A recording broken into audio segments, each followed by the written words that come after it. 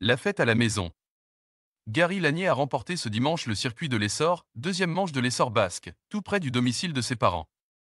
Je suis né à Bayonne. J'habite à 10 km d'ici mais pour faire une carrière pro ou semi-pro dans la région c'est difficile donc ça fait 4 ans que je suis parti d'ici, rappelle-t-il à Direct Vélo. Mais chaque année, c'est important pour moi de revenir et en plus de gagner sur la seule course élite dans la région, c'est vraiment important. C'est une course importante du calendrier à mes yeux. Ce dimanche, au départ de Souraïd, le basque était un peu revanchard, comme une partie du peloton piégé la veille par les quatre échappés. Ça a roulé vraiment vite d'entrée. En début de course, j'essayais de ne pas trop en faire car je ne voulais pas gâcher des forces. Mais à un moment, une vingtaine de coureurs sont sortis et j'ai fait le jump avec Tom Minguenot. Dans le final, le peloton est revenu aux trousses des échappés. Dans une bosse, Tom a attaqué, je suis allé avec lui mais j'ai vu qu'on n'était que trois donc on a attendu deux gars dont un de Vendée et Nicolas Marceroux. Ça évitait de voir son équipe rouler derrière.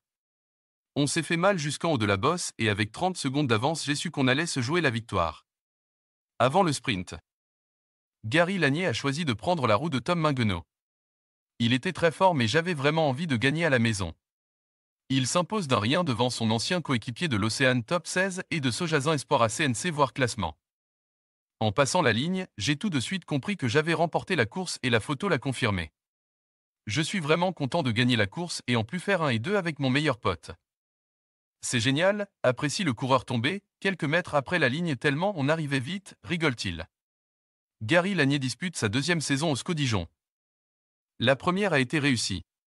En témoigne sa 21e place au Challenge Direct Vélo. Cette année, j'ai l'objectif de faire aussi bien que la saison passée.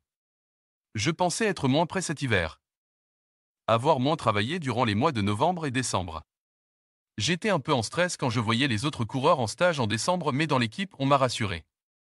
Le coureur de 25 ans a fait un gros mois de janvier et a déjà bien assimilé le travail effectué. Je suis content.